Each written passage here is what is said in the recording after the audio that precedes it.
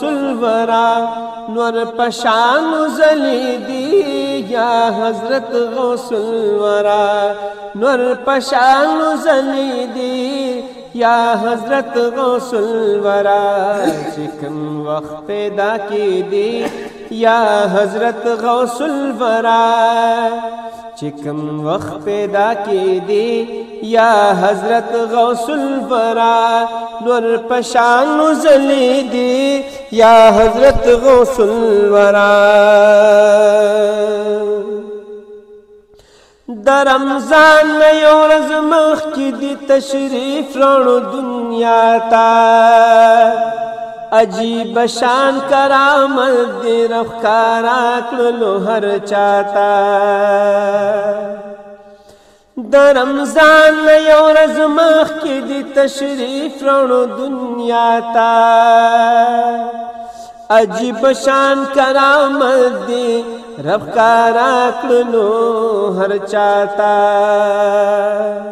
دا خبرې خورې دی یا حضرت غوث الورا دا خبرې خورې دي یا حضرت غوث الورا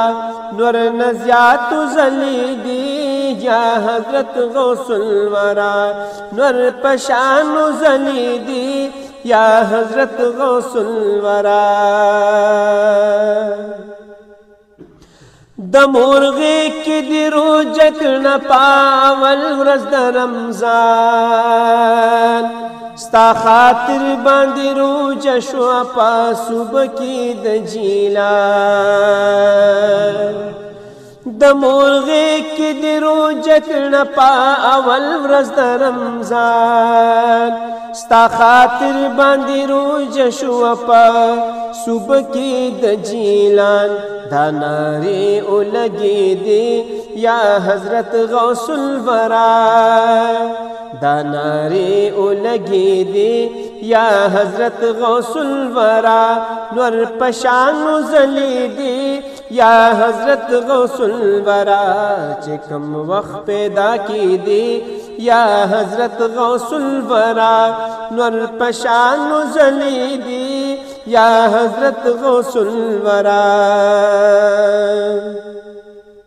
مرشد جان دا الله پدر کی ډیر قدردان ته چراغي ته چراغ نه بهار راغې الله ختم کړو خزان مرشد جان دا الله پدر کی ډیر قدردان ته چراغ نه بهار راغې الله ختم کړو خزان لکا گل اٹو کی دی یا حضرت غوث الورا لکه ګل اٹوکی دی یا حضرت غوث الورا نور پشان زلی دی یا حضرت غوث الورا